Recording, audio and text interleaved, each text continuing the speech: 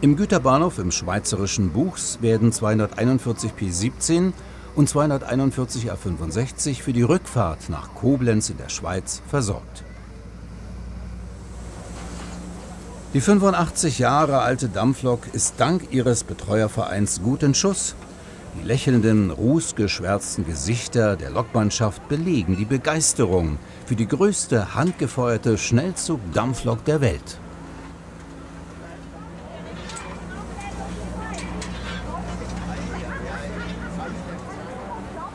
Daneben die stärkere 241p. Sie hat eine Stokerfeuerung, das heißt, ein Schneckenantrieb befördert die Kohle vom Tender in die Feuerbüchse.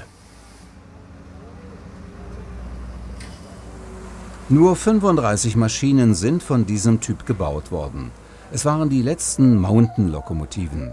Die 241 B17 ist heute die stärkste betriebsfähige Dampflok Europas.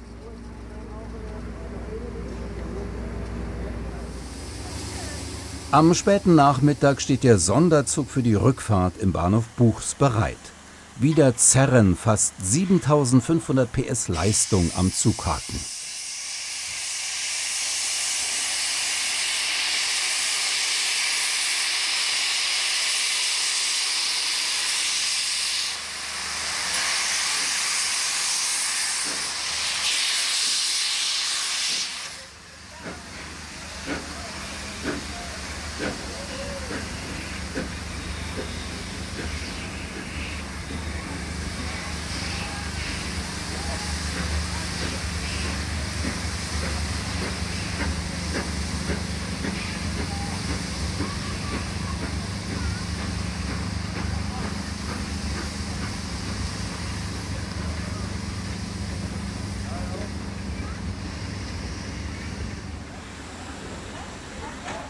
Die Mountain-Lokomotiven mit der Achsfolge 2D1 sind ein Paradebeispiel für französische Dampfloktechnik.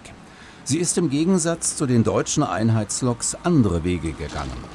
Wünschen wir den Vereinen beider Lokomotiven weiterhin ein gutes Händchen mit ihren großen Maschinen.